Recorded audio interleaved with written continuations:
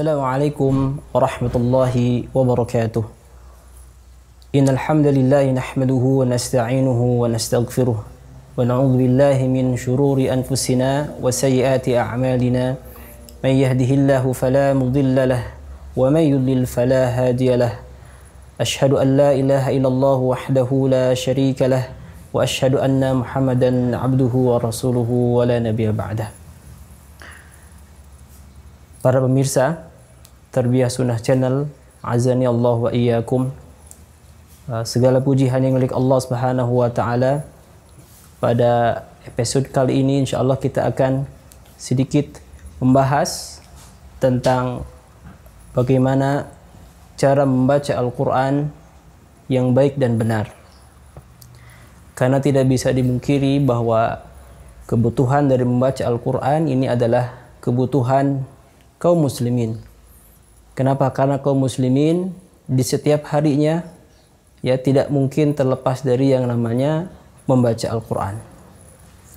Qiraatul Quran atau membaca Al-Qur'an tentunya ini memiliki ilmu tersendiri. Para ulama sudah banyak membahasnya tentang ilmu yang khusus mempelajari tentang bagaimana cara membaca Al-Qur'an yaitu mereka menamakan dengan tajwidul lafzi atau dengan ilmu tajwid. Ilmu tajwid ini adalah pengantar supaya seorang muslim bisa membaca Al-Qur'an dengan baik dan benar. Dan ini merupakan adalah ilmu teoritis. Adalah ilmu teori. Walaupun sejatinya bahwa membaca Al-Qur'an ini adalah ilmu tatbiqi atau ilmu praktek. Yang prakteknya ini ya haruslah uh, sesuai dengan praktek bacaan dari Rasulullah Sallallahu Alaihi Wasallam. Karena sebagaimana yang kita ketahui ya bahwa uh, dalam Musnad Imam Ahmad disebutkan bahwa dari Ali dari Ali bin Abi Thalib radhiyallahu an ya anna Rasulullah sallallahu alaihi wasallam ya'murukum an taqra'ul Qur'an kama 'allimtum hadis ini sahih ya di sana Ali bin Abi Thalib radhiyallahu anhu ya berkata bahwa sesungguhnya Rasulullah sallallahu alaihi wasallam telah menyuruh kalian wahai para sahabat antaqra'ul Quran untuk membaca Quran kama ulimtum sebagaimana Al-Quran ya oleh kalian pelajari. Ya sebagaimana ya kalian mempelajari Al-Quran atau sebagaimana apa Al-Quran ini dipelajari oleh kita bersama. Tentunya berkaitan dengan mempelajari Al-Quran, ya tentunya harus ada seorang muallim, harus ada seorang seorang guru. Ya dan muallim yang pertama ya mengajarkan kepada Rasulullah Sallallahu Alaihi Wasallam adalah Ar-Ruhul Amin yaitu Jibril alaihi salam. Sebagaimana yang difirmankan uh, oleh Allah Subhanahu wa taala dalam surat Asy-Syu'ara dimulai dari ayat 192 sampai ayat 190 195 ya kata Allah Subhanahu wa taala wa innahu latanzilu rabbil alamin. Nazala bihi ruhul amin. Ala qalbika litakuna minal munzirin bilisanin arabiyyin mubin. Sangat jelas sekali di surat asy-syu'ara ini bahwa Al-Qur'an ini diturunkan dari Allah Rabb semesta alam. Ya nazala bihi ruhul amin. Dan Quran ini turun bersama ruhul amin yaitu malaikat Jibril alaihi salam. Ya ala qalbika. Ya langsung ke dalam dadamu wahai Muhammad sallallahu alaihi wasallam litakuna minal munzirin. Ya agar engkau ya termasuk orang-orang yang memberikan peringatan. Ya. Kemudian di ayat setelahnya adalah Quran turun ini ada pengkhususkan. Ada bahasa khusus ya Quran diturunkan yaitu bilisanin arabi mubin. Itu Quran turun dengan bahasa Arab yang yang jelas. Ya. Turun Quran dengan bahasa Arab yang yang jelas. Ya, para ulama yang mentafsirkan bahwa uh, kata mubin ya adalah fasih. Ya, bilisanin arabiyyin mubin yaitu adalah bilisanin arabiyyin fasihin. Berkata para mufassirin Ya, salah satunya adalah Al-Imam Ibnu Jarir At-Tabari dalam tafsir beliau bahwa makna dari kata mubin ya adalah fasih. Nah, dari ayat ini ya kita bisa menyimpulkan bahwa ya Al-Qur'an turun langsung dari Allah Subhanahu wa taala dengan perantara malaikat Jibril alaihi salam ya kemudian disampaikan kepada nabi kita Muhammad sallallahu alaihi wasallam kemudian dengan bahasa yang khusus yaitu dengan bahasa bahasa Arab yang fasih. Ya di sini harus kita garis bawahi bahwa ya membaca Al-Qur'an ini harus dengan lisan Arab. Ya tidak boleh dengan lisan selain Arab. Ya uh, atau sering kita namakan atau para ulama namakan adalah lisan ajam atau lisan a'jam.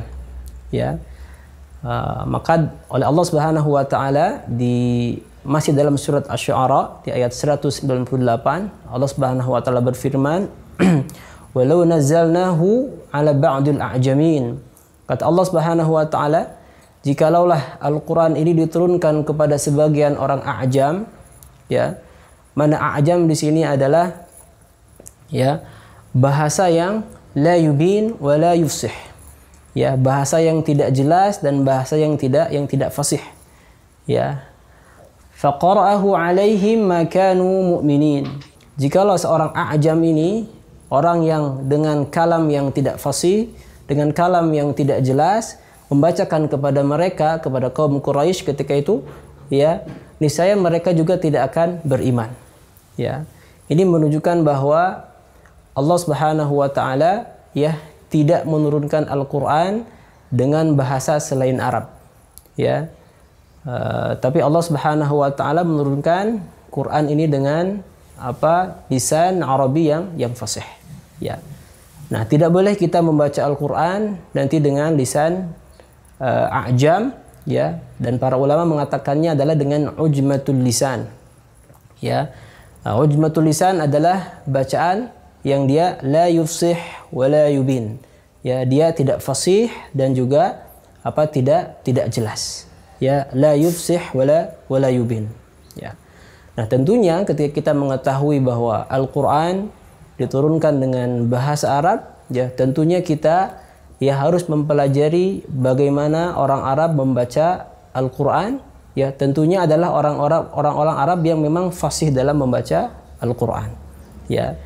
Dan banyak para ulama ya yang sudah apa membuat sebuah mukarrar, sebuah buku, sebuah kitab yang mengantarkan ya kepada uh, bagaimana cara membaca Al-Qur'an sesuai dengan lisan Arabi yang fasih ya. Banyak kitab-kitab ya dari kalangan para ulama ya yang membahas bagaimana cara membaca Al-Qur'an dengan baik dan benar ya. Kemudian juga dibahas di dalamnya juga beberapa kaidah-kaidah yang penting bagi kita supaya kita nanti bisa membaca Al-Qur'an di lisanin Arabiyyin mubin. Dalam episode kali ini ya, ini hanya penyampaian muqaddimah saja dan tadi sudah disebutkan bahwa bahwa kita membaca Al-Qur'an ya haruslah dengan lisan Arabi. Ya, dan lisan Arabi ini ya kenapa harus dengan lisan Arabi?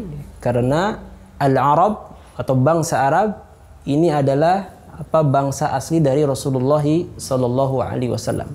Ya. Bahwa Arab lafaz Arabi ini adalah nisbat kepada eh, bangsa Arab. Ya.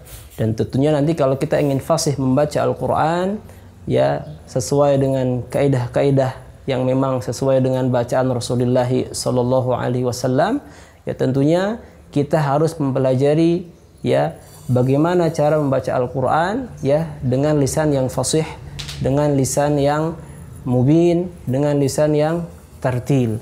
Ya, tentunya nanti insya Allah jadi ya episode episode setelahnya kita akan membahas secara terperinci, secara tersusun ya bagaimana kita bisa membaca Al-Quran dengan lisan Arabi, dengan fasih dan dengan tertil sebagaimana uh, firman Allah Subhanahu wa taala dalam surat Al-Muzammil Auzid alaihi warattilil Qur'ana tartila. Ya, dan bacalah oleh kalian Quran dengan dengan tartil. Ya.